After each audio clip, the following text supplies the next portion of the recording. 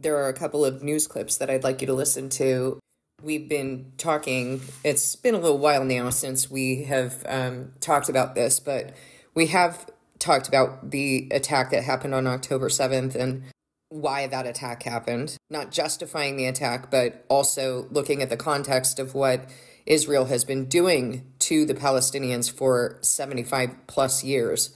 We've taken a look at the historical ideology that's going on in Israel and with the IDF that bore out of Reform Judaism that took place in, that began in Europe and was subsequently judged by God because, you know, when you reform Judaism, what you're essentially saying is that you're reforming God's word. And this occurred in a movement called Wissenschaft des Judentums, the science of Judaism. So essentially, we join our God and what he has established with this false God that is trying to set itself up as God while concurrently denying that he even exists. Any person who is sensible when this is pointed out to them, any person who has truth in them will agree that something's wrong here. A field that says that you evolved, that you did not, you were not created, there is no God, but that you evolved and then bases all of its disciplines on that fundamental premise that you evolved and were not created. A field that says you need human beings and medications and poisons and tinctures and treatments in order to live. And they will tell you whether you will live or die. If you look at what this was in scripture, it was outright witchcraft. Ahaziah fell through the lattice in the roof. He sent his men to go consult a Beelzebub as to whether he would live or die. And Elijah burned up 50 men, two sets of 50 men. And on the third set, he said, You go tell Ahaziah that he, because he has done this, is there no God in Ekron that you have sent your men to go and consult a Beelzebub as to whether you will live or die? Because you have done this, you will surely die. And Ahaziah died. What did Jesus and the apostles do when they were here? Did they give you medicines and tinctures and diagnoses, or did they tell you that your condition is not a diagnosis, but a spiritual condition in which you need to repent or something worse will happen to you? Did Jesus not say that when a spirit comes out of a person, aka when he casts it out, that it goes through arid places looking for rest and doesn't find it. And then when it comes back and that house is found swept clean and unoccupied, which means that person is not repented and returned to God, that it brings with it seven more spirits more wicked than itself. And the final condition of that person is worse than it was in the beginning. So it will be with this wicked generation. He already told us what the condition would be. He did not say, then I'll send you doctors and false gods to contrive diagnoses and postulations about what your condition is. He told you your condition. So stop using those diagnoses. There are times when we talk about things in descriptive terms and we'll say, okay, like the other day I said on a video, neuropathy. And I said, I'm not using this as a diagnosis. I'm using it to be descriptive about symptoms. If you're using it as a diagnosis, if you're using it to say that you have some condition, rather than these are the symptoms I have as a result of whatever God is doing with me, you're speaking on the authority of the world. There's no truth in you. That's what the word says. If you don't speak on the authority of the one who sent you, there is no truth in you. And so, what Reformed Judaism did is they reformed God's word. They led you away from Him. They led you to science, their false God, and the science of Judaism. I don't know what the heck that is, but it is not true, it is not real, and it is not biblical. And yes, judgment was brought on a people who did this. A people who were called to be God's people, who continue to conveniently claim that they are God's people, but they don't regard his law, they don't regard his word, and they justify what they're doing. They justify the murder of Palestinians using the word, using God's name. These are not religious people, these are irreligious people. So I spoke with you about this for a while. And yeah, people just hate it that I'm even saying this, but that's because they don't love truth. There's a very large percentage of counterfeit Christianity who follows this, blindly supporting murder, like this is what God is accomplishing right now for his will, for goodness against his law. No, this is what rebellious, evil people are doing. But make no mistake, God is accomplishing his will. Wickedness is blossoming, and these people are going to their destruction. This is what they've chosen. They have chosen that they want a land here in the carnal, here in this temporary life. They are not interested in a country of their own in eternity. They're not interested in that. Abraham didn't go into the land as a foreigner and say, Hey, God said this was my land, so I'm going to murder everybody here. He went and lived in tents with his sons, humble, believing in the promise of God, looking forward to the promise of God in eternity, not here in the temporary. But today's Judaism, well, they can just do whatever they want. The word says we don't inherit the kingdom until he brings Babylon down. Babylon is still alive and well, guys. That does not happen until after the resurrection. Babylon does not even come down during the resurrection. All of the bowls of wrath are pulled, poured out, and then Babylon falls. And then, it isn't even until then that Christ marries his bride, that the wedding supper of the Lamb has come. Know your word. Know your word. And if you think that what I'm saying is harsh, that God would bring the Holocaust as judgment for people reforming his word, you need to know your word. Read Leviticus 26, read Deuteronomy 28, and every other prophecy of Isaiah, of Ezekiel, of Jeremiah. I'm sick and tired of people acting like God is not a God of wrath as well as love, making up their own gods. Those are not gods that will save. God brings wrath. And to be a people set apart to be the light of the world and the salt of the earth and to go and reform his word, you better believe that he will do all of the things that he has said he will do. Let me read just a little snippet of what God says he will do in Ezekiel 5, verse 8. Therefore, this is what the sovereign Lord says I myself am against you, Jerusalem, his own people, and I will inflict punishment on you in the sight of the nations. Because of all your detestable idols, I will do to you what I have never done before and will never do again. Therefore, in your midst, Parents will eat their children, and children will eat their parents. I will inflict punishment on you and scatter all your survivors to the winds. Therefore, as surely as I live, declares the sovereign Lord, because you have defiled my sanctuary with all your vile images and detestable practices, I myself will shave you. I will not look on you with pity or spare you. A third of your people will die of the plague or perish by famine inside of you. A third will fall by the sword outside your walls, and a third I will scatter to the winds and pursue with drawn sword. Verse 14 I will make you a ruin and a reproach among the nations around you in the sight of all who pass by. You will be a reproach and a taunt, a warning, and an object of horror to the nations around you when I inflict punishment on you in anger and in wrath and with stinging rebuke. I, the Lord, have spoken. When I shoot at you with my deadly and destructive arrows of famine, I will shoot to destroy you. I will bring more and more famine upon you and will cut off your food supply, your supply of food. I will send famine and wild beasts against you, and they will leave you childless. Plague and bloodshed will sweep through you, and I will bring the sword against you. I, the Lord, have spoken. Is he a liar? Does he threaten in vain? I don't know what God people are believing in, but my God is not a man that he should lie. So I want you to hear what God's own people. You want to make everything about ethnic Jews? Because this is not about ethnicity. God didn't call an ethnicity to be his ultimately. In the beginning, he established a nation and he set them apart as his own and he called them clean and he called everyone else unclean and he gave you food requirements in order for you to understand the clean from the unclean and how you're supposed to separate them. And he said, You are a nation that's been set apart to me. You do not mingle with other nations. You do not live as they do, worship their gods, marry their women. You are mine. And then he sent his son, and his son extended salvation to the Gentiles. And the Gentiles who received him, as well as the Jews who received him, because listen, those who did not receive Jesus Christ were broken off.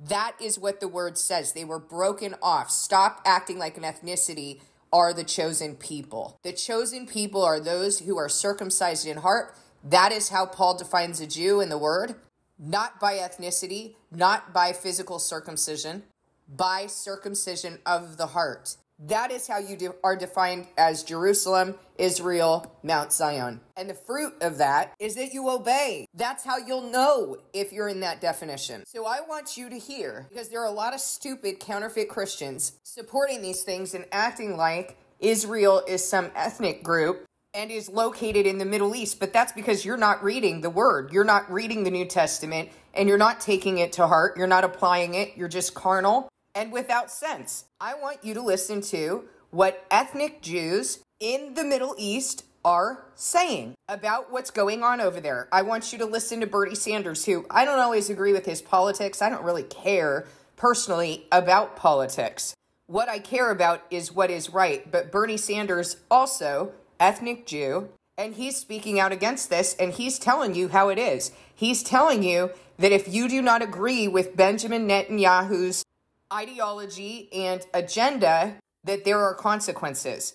And I think it's important that you understand what is going on with the important people of the world in politics. Not that you not that you take it seriously, not that politics are what's going to save you or appointing a human king. You know how I feel about that if you listen to the channel. I do not vote. I return to God and He appoints the people who are going to rule. I don't care what your opinion is about that because that is not what I put my hope in. And if that's what you put your hope in, this is not the channel for you. We were never supposed to put our hope in a human king or a political system. We're supposed to put our hope in God. He does not need the constructs and systems of man. These things are laughable to him. Let's start with Bernie Sanders. Any person who's a billionaire I don't know how many billionaires we have. Probably not too many, but you are aspiring billionaires, all right? But if you get there, you will be able to spend unlimited amounts of money, hundreds of millions of dollars, supporting candidates you like or defeating candidates you don't like. That is not a democracy. That is a corrupt political system. It is no secret, therefore, that in the midst of all of this, we have lobbying groups like AIPAC and the far right Christians United for Israel lobby, who are providing unquestioning support for Israel's right wing government. They are spending enormous sums of money right now to influence our political system.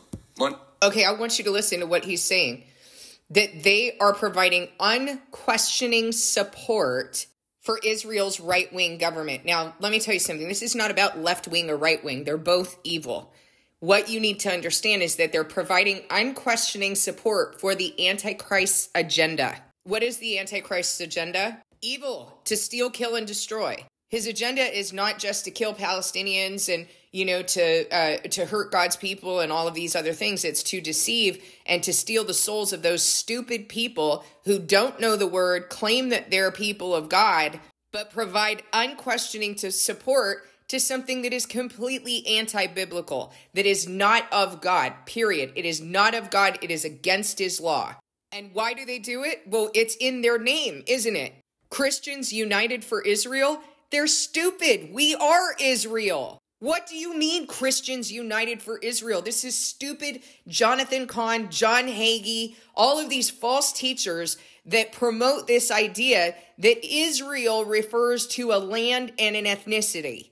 They are irreligious. They do not love the Word of God. This is not what the Word of God says. It's not what the New Testament defines to be a Jew, Israel, or Jerusalem. These people are liars. And the people who follow them are just as guilty as the false teachers and false prophets they listen to.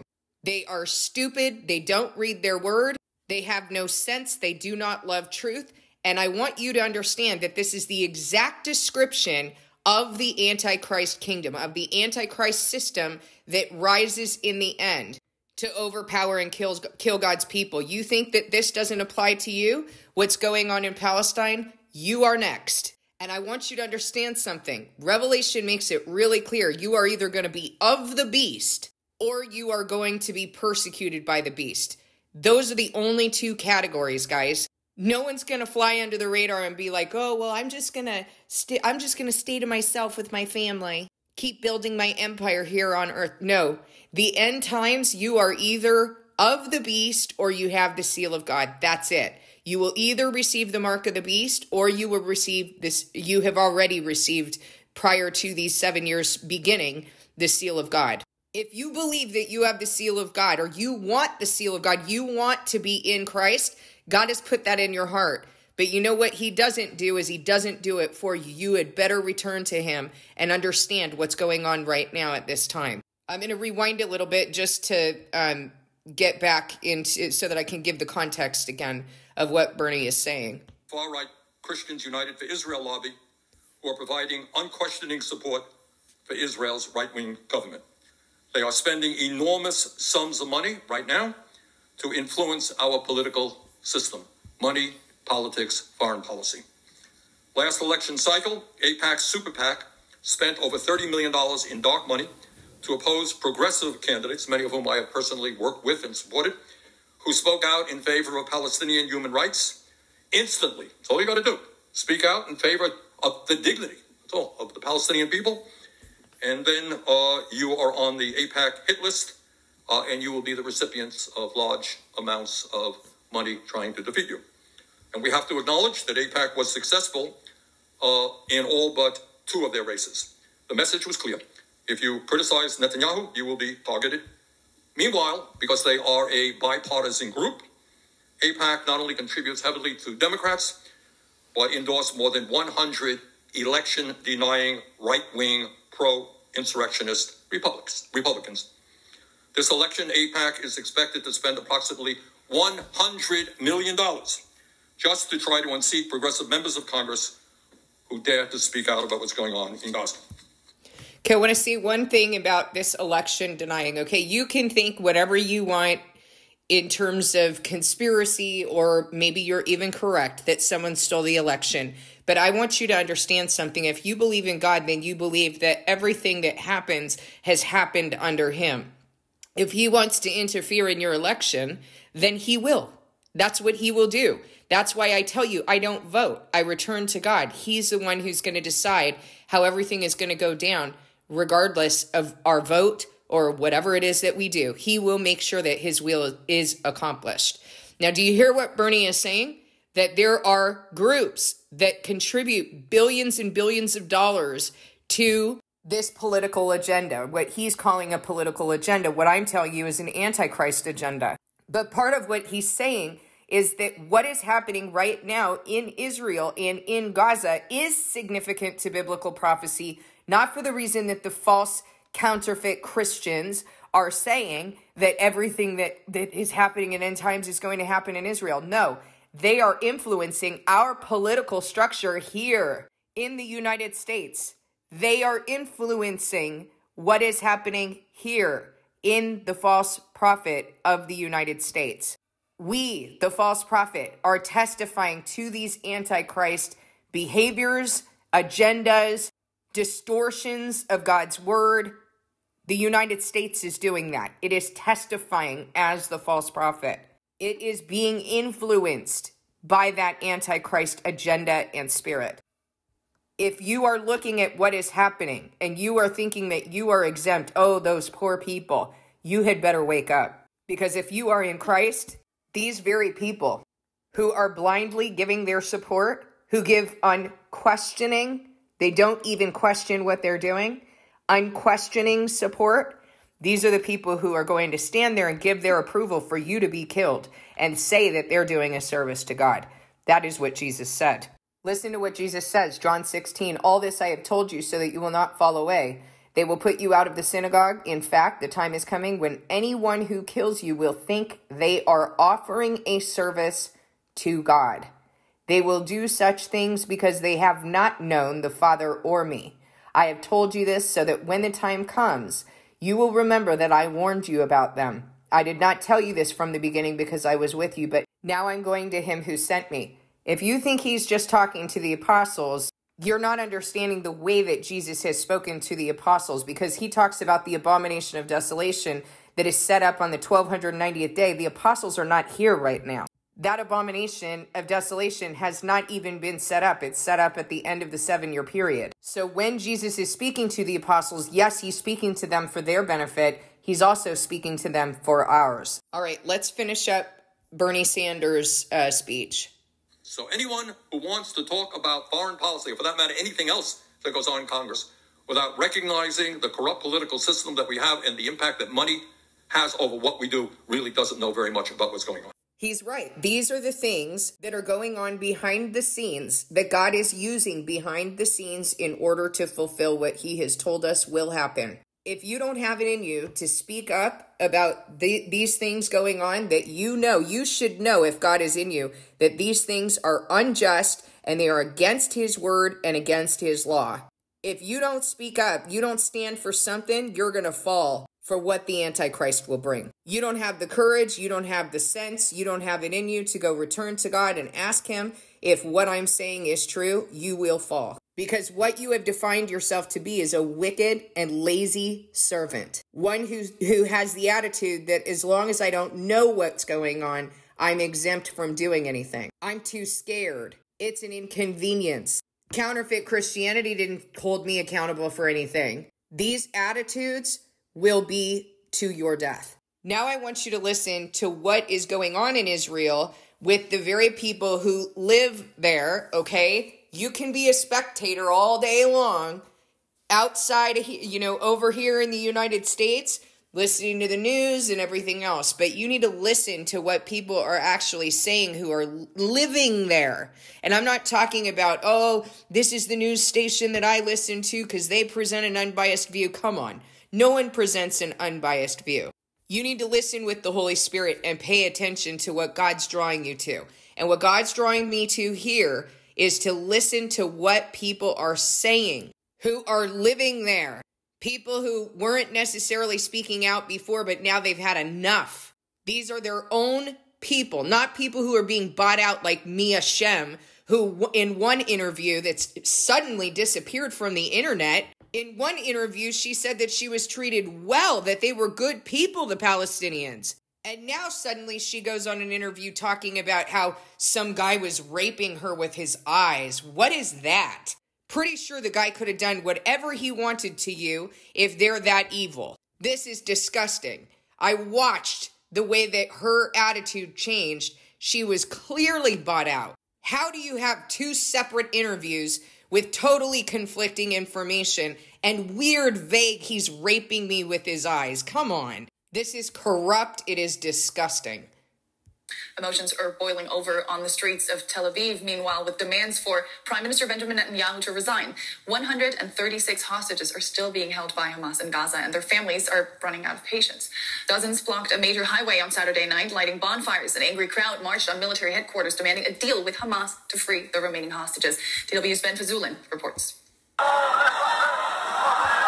The battle lines are drawn between the demonstrators and police. A 1,000 strong crowd outside military headquarters. Police are now moving in, some of them on horseback, to subdue the protesters. Things are reaching tipping point here in Tel Aviv.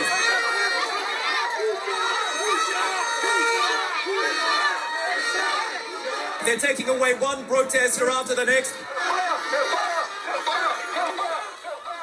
They shout at the police, shame on you. What they're doing is they're attacking protesters um, and uh, arresting peaceful uh, uh, protesters and attacking them, uh, choking them, trampling them, uh, doing exactly what you would expect from a corrupt militia in a, in a dictatorial country. Now they're using uh, these horses. You do not do, need to do that in order to clear the streets. the protests have been very peaceful. They've also been growing every week and becoming more and more political.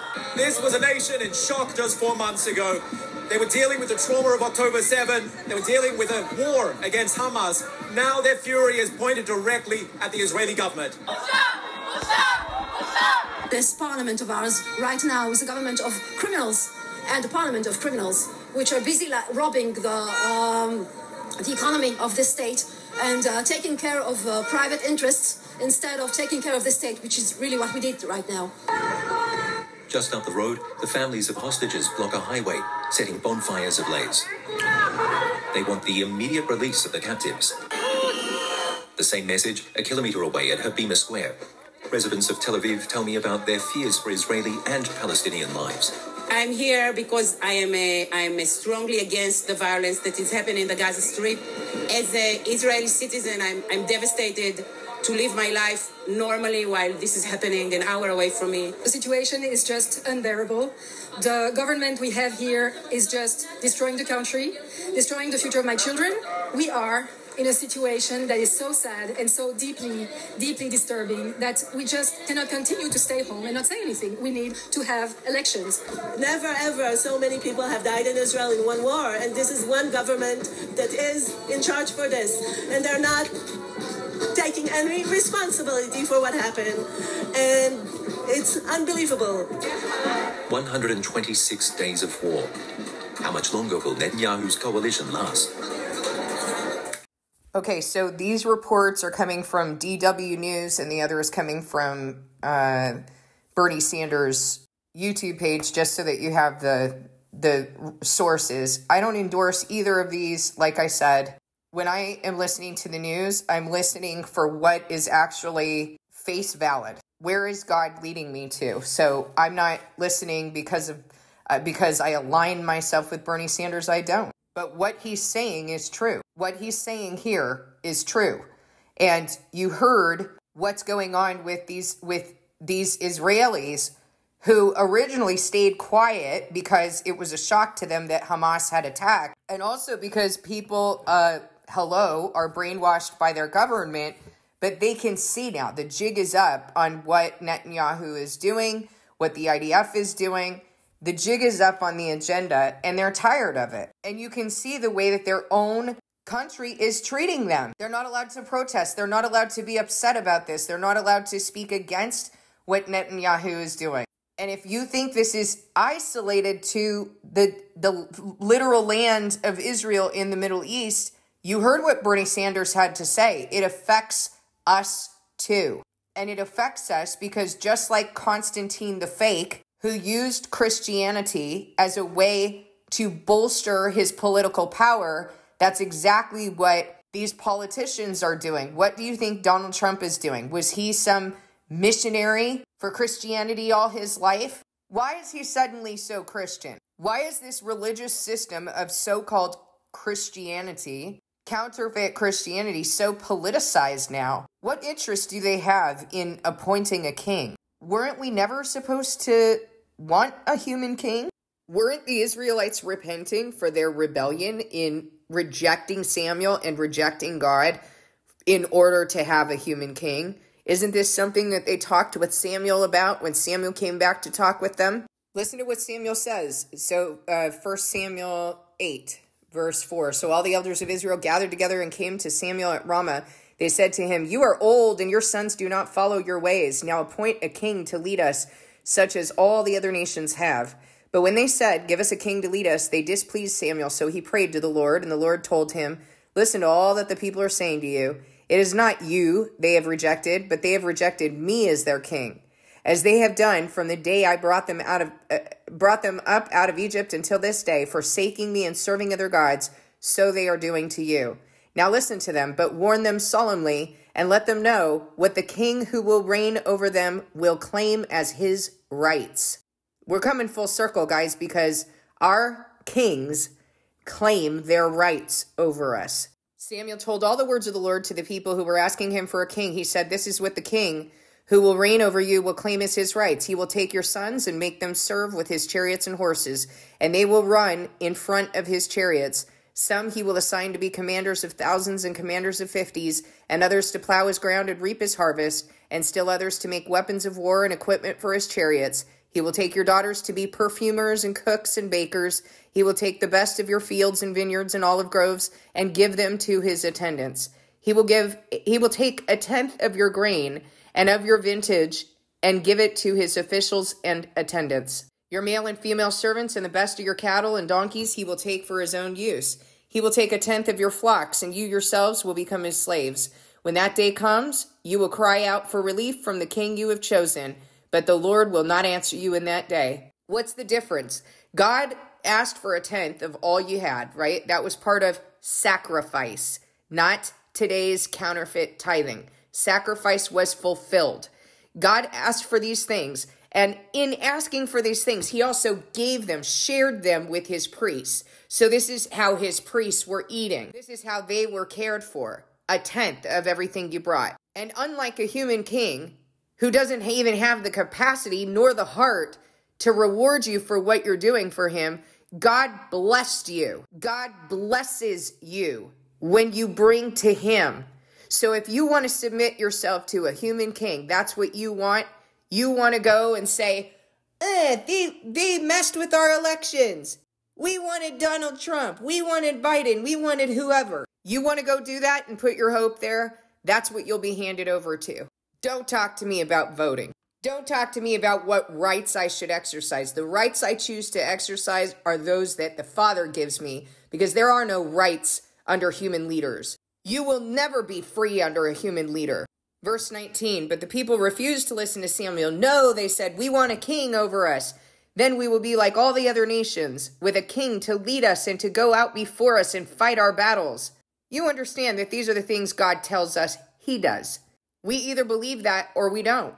But let me tell you something human kings are not fighting your battles, they're fighting their own. Their own political, personal interests. When Samuel heard all that the people said, he repeated it before the Lord. The Lord answered him, Listen to them and give them a king. Then Samuel said to the Israelites, Everyone go back to your own town. Now listen to what happens in chapter 12, just a short little four chapters later. Samuel said to all Israel, I have listened to everything you said to me and have set a king over you. Now you have a king as your leader. As for me, I'm old and gray. My sons are here with you. I have been your leader from my youth until this day. Here I stand. Testify against me in the presence of the Lord and his anointed. Whose ox have I taken? Whose donkey have I taken? Whom have I cheated? Whom have I oppressed? From whose hands have I accepted a bribe to make me shut my eyes? If I've done any of these things, I will make it right. You've not cheated or oppressed us, they replied. You've not taken anything from anyone's hand. Samuel said to them, to them, The Lord is witness against you, and also his anointed is his wit- is witness this day that you have not found anything in my hand. He is witness, they said. Then Samuel said to his people, It is the Lord who appointed Moses and Aaron and brought your ancestors up out of Egypt. Now then, stand here, because I'm going to confront you with evidence before the Lord as to all the righteous acts performed by the Lord for you and your ancestors. After Jacob entered Egypt, they cried to the Lord for help, and the Lord sent Moses and Aaron, who brought your ancestors out of Egypt and settled them in this place. But they forgot the Lord their God, so he sold them into the hand of Sisera, the commander of the army of Hazor, and into the hands of the Philistines and the king of Moab, who fought against them. They cried out to the Lord and said, We've sinned. We have forsaken the Lord and served the Baals and the Ashtoreths. But now deliver us from the hands of our enemies, and we will serve you. Then the Lord sent Jerubbaal, Barak, Jephthah, and Samuel, and he delivered you from the hands of your enemies all around you, so that you lived in safety. But when you saw that Nahash, king of the Ammonites, was moving against you, you said to me, No, we want a king to rule over us, even though the Lord your God was your king. Now here is the king you've chosen, the one you asked for. See, the Lord has set a king over you. If you fear the Lord and serve and obey him and do not rebel against his commands, and if both you and the king who reigns over you follow the Lord your God, good. But if you do not obey the Lord, and if you rebel against his commands, his hand will be against you, as it was against your ancestors. Now then, stand and see, stand still and see this great thing the Lord is about to do before your eyes. Is it not wheat harvest now? I will call on the Lord to send thunder and rain, and you will realize what an evil thing you did in the eyes of the Lord when you asked for a king. Then Samuel called on the Lord that same day. The Lord sent thunder and rain, so all the people stood in awe of the Lord and of Samuel. The people all said to Samuel, Pray to the Lord your God for your servants, so that we will not die. For we have added to all our other sins the evil of asking for a king. Do not be afraid, Samuel replied. You've done all this evil, yet do not turn away from the Lord, but serve the Lord with all your heart. Do not turn away after useless idols. They can do you no good, nor can they rescue you, because they're useless. For the sake of his great name, the Lord will not reject his people, because the Lord was pleased to make you his own. As for me, far be it from me that I should sin against the Lord by failing to pray for you and I will teach you the way that is good and right. But be sure to fear the Lord and serve him faithfully with all your heart. Consider what great things he's done for you. Yet if you persist in doing evil, both you and your king will perish. So what is Samuel saying? Your king, ultimately, he's relegated him as useless. He's useless. Still, in these days, your king is useless. The only thing that has ever mattered is that you fear the Lord and you obey him and do what is good and right. Serve him faithfully with all your heart. Consider what great things he's done for you. I don't see this attitude. I don't see this in the heart of those claiming to be Christian. I see absolute wickedness and stupidity and the fact that there is a lobbying group called Christians United for Israel speaks to that wickedness. It speaks to that stupidity and foolishness and wickedness. You're either God's people or you're not. These are children of Satan coming together to fund an agenda that comes from him to take things into their own hands. I don't see anyone fasting. Who's praying and fasting for the will of God to be accomplished? I don't see that. Who's returning to God? Who's even preaching that? I don't hear it. I hear people saying, pray for the land, be a good steward of the land. And they think that that's Christian. They think that sounds real Christian. Oh, this is because we haven't been good stewards of the land. No, dummy. The word says it's because you haven't returned to God. It's because you've gone off to serve idols. And now you're acting like the idol of the work of your own hands is what is needed in order to fix the disaster that you created by turning away from God. How are you going to turn up at Him and you've been serving all these other gods? You think He's going to respond to your prayer to heal the land? God's word says that if you return to me, I'll heal you and your land. No one's humbling themselves. No one's turning away from their wickedness. No one's examining and repenting. And no one's teaching others to do likewise. It's just a bunch of counterfeit Christians following what other children of Satan say, like Francis saying, we need the 10 commands of climate change and we need to observe a counterfeit Sabbath and pray for the land and submit ourselves to science. How is that going to save? Stop listening to human beings, guys. Go to God. That's my message every single time. I don't tell you listen to the next video and the next video and the next video and contribute to my Patreon. So a blessing. I don't say anything like that to you. I share with you what God shares with me and I shepherd you back to him and I always tell you discern what I have said. Go to him and ask him if what I've said is true. Don't just take me at face value. Discern by the Spirit of God. This is what's happening. The Antichrist system is rising, and most of you don't even see it. Counterfeit religion is coming together. Counterfeit Judaism, Catholicism, Christian nationalism, the counterfeit Christians and their lobbies. All politics does, by the way, is add in the more agenda on how to mobilize these ideologies. They don't care about religion. These are irreligious people. What they're doing is adding in greed and glory and power. That's the function of politics. That is mobilizing the Antichrist agenda. The United States, as the false prophet, is mobilizing the Antichrist agenda, which is a woman writing a beast, a church writing government, a church that is controlling government. What church is that? It's the church of Satan, guys. It's the synagogue of Satan. That's what God refers to it as. It's in Israel, it's in Rome. It's all coming together as counterfeit religion. That is the system of the Antichrist. That is what you're going to see rise. That's what you're seeing rise right now. I hope you have the sense to see it. If you don't, if you're wondering if what I'm saying is true, go return to God with your whole heart and ask Him.